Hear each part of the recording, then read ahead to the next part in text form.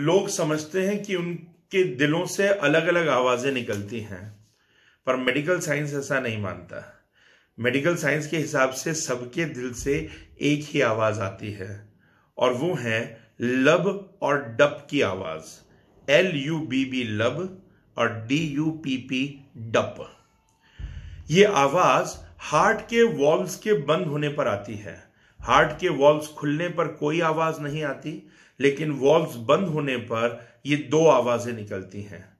पहली आवाज़ होती है लब की आवाज़, जो कि बहुत देर तक सुनाई देती है, लेकिन वो होती बहुत धीमी आवाज़ है। लेकिन जो डब की आवाज़ है, वो सेकंड साउंड है, जो कि तेज सुनाई देती है बट शॉर्ट ड्यूरेशन के लिए सुनाई देती है। हार्ट की आवाज़ को सुनने के लिए स्टेथोस्कोप का इस्तेमाल होता है और इस आवाज़ की स्टडी को फोनोकार्डियोग्राफ कहते हैं।